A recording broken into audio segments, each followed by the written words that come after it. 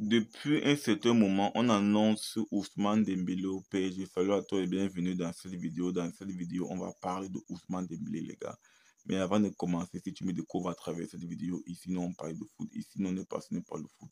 Donc, si tu es intéressé par la thématique, si la thématique te parle, n'hésite pas de t'abonner et d'activer la cloche de notification pour ne rien manquer des prochaines vidéos. Si c'est fait, on est parti. Alors, les gars, Ousmane Dembélé au PSG, est-ce que c'est une bonne idée? Oui. Tous les grands clubs souhaitent les services d'Ousmane Dembélé.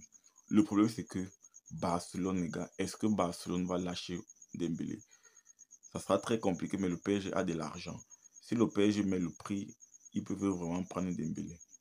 Après, est-ce que Dembélé aura envie de venir jouer pour le PSG Là, c'est notre équation à résoudre.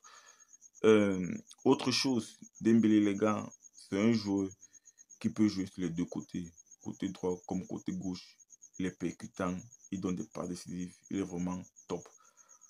Le seul petit bémol que je vais mettre à son actif, c'est que il se blesse régulièrement. Il est régulièrement blessé et c'est un mec qui joue un match sur deux, un match sur deux. Il est comme Neymar.